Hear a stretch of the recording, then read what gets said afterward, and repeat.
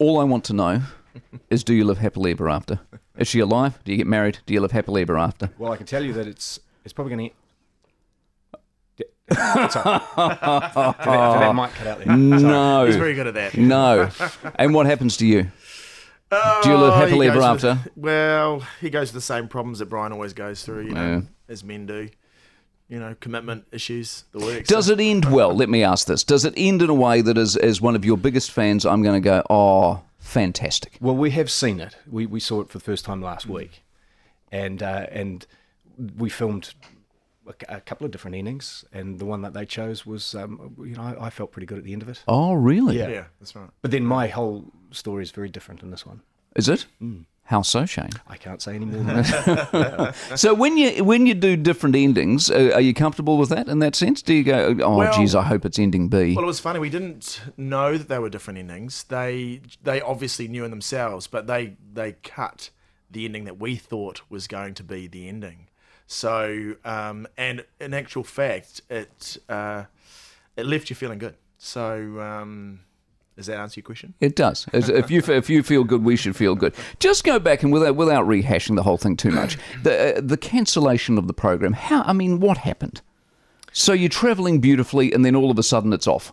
yeah, I don't, I don't know if that third season we were travelling as beautifully as what we wanted to be. I think we were, television is watched differently now, and and uh, I don't know what happened with the rating system, but our ratings our ratings did drop. We were on we were on our third different night, to be fair, when we we we, we went from a Tuesday to a Sunday to a Wednesday, and and uh, and and the ratings weren't as good as what they had been. So TVNZ's a commercial operation, and they made that decision. But See, we I were have a pretty different opinion disappointed. I think that I think that we're a victim of the change in ratings. The, there, there's been a ratings change because of delayed viewing. Yes. You know, my my Sky is a big part of the way people watch television.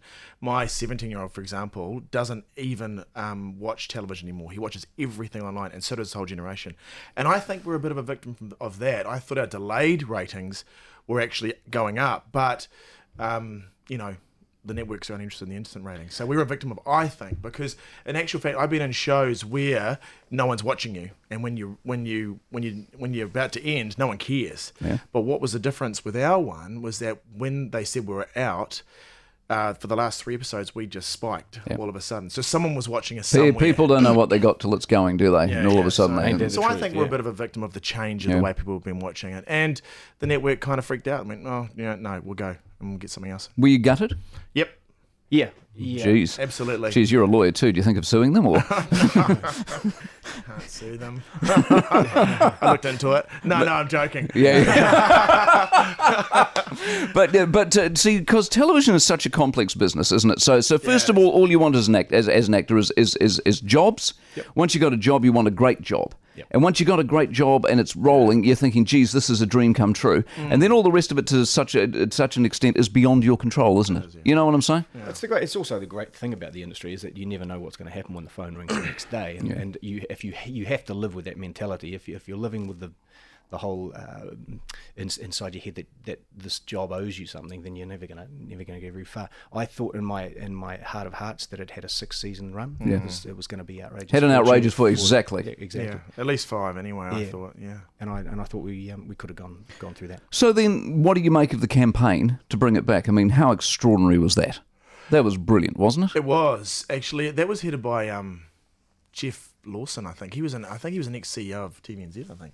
But um, I just put a little. I put a little post on Nothing Trivial page. that said thanks for the memories. We're under no confidentiality agreement at that point, and I said, nah, screw it. I'm going to do it. And so I did it. Next thing went viral. Wow.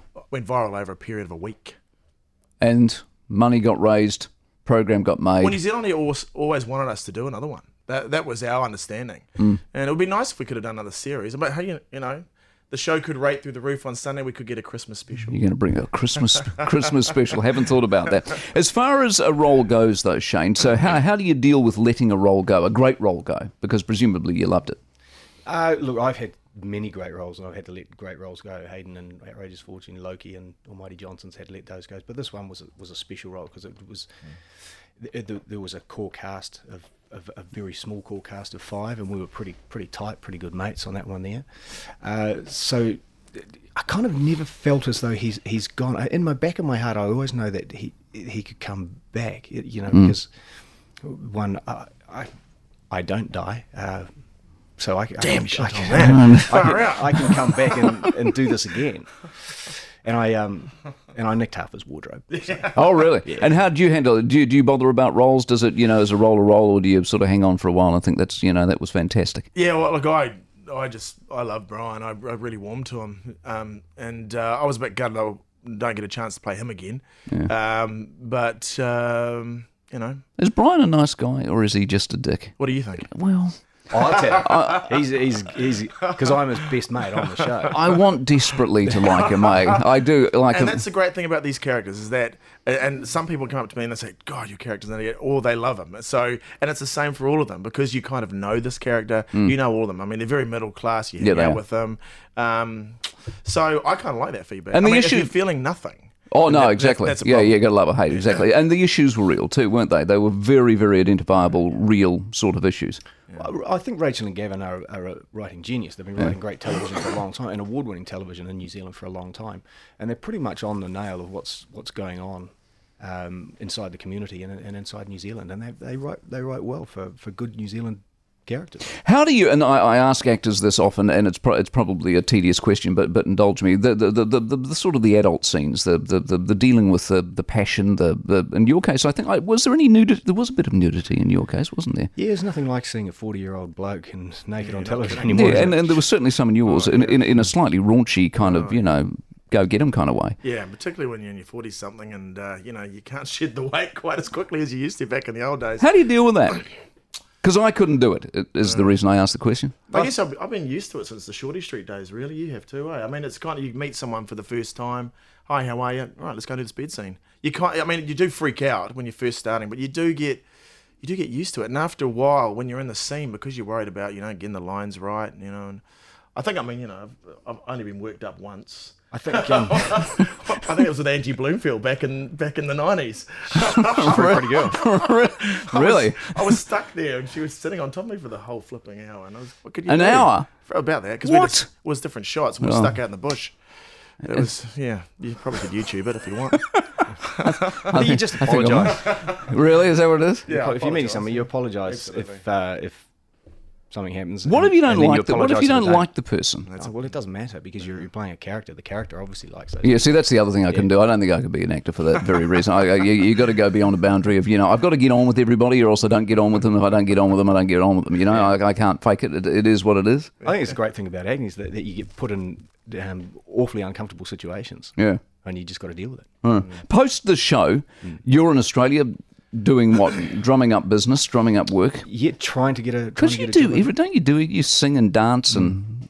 Well, I don't dance. My Do wife not- would laugh if you said that. Oh, really? Well, Yeah. well, well, well, you. I saw you at a. What did I see you at the netball one night with a band? Yeah, the band's still going. I've got I've got two bands now. I've got my uh, 50s rock and roll band who's still just who just Yeah. plugs away, and I've I've got a new band now which is playing more uh, anthem-esque type songs from 80s and 90s, which is going going really well. Yeah, Beautiful. it's kicking And off. you, and you got law. Is, is law? yeah, yeah. So I just go back to my law firm. So yeah, Geez, that must be ideal, mustn't it? Mm. I mean, because no matter what happens, you got your law firm. yeah. Well, I worked pretty hard to get there, to be honest. So um, did some hard yards, um, but I've got a you know great group of people I work with at um, Takapuna, this little firm called the Law Lounge. So it's great. It's, Good uh, on you. Yeah. So that's Do you have aspirations for the next great role, or if it happens, it happens. If it doesn't, it doesn't. Uh, I always do, you know, because you know, acting is always a passion. You know, I suppose I always say acting is like you know the woman you you always love and always will, and law is kind of like um, your your wife. no, it's not. Lee Australian, single in Auckland. Ain't he a catch? Dear, no, oh no, no, no. But um, yeah, I mean, I, I'd love to do one of those Sunday. Um, I mean, we're doing one on, I guess, on Sunday with nothing true. But I'd love to do one of those true stories, Sure. New Zealand true stories. Yeah. Maybe Well- play Winston Peters. That'd be right, wouldn't it? You'd be good, actually. You got go. you got the face, you got the hair. Yeah. Yeah, you got to get a bit angry. You look a bit happy to me. You look a bit, so you look a bit light of foot. that. Get a Yeah, bit, get a bit angry. Anyway, listen, you know I'm a massive fan of it, uh, and, and and it's been a brilliant ride. So um, good luck on Sunday. Hope it does brilliantly well, and lovely to talk to you. Thanks, Nice.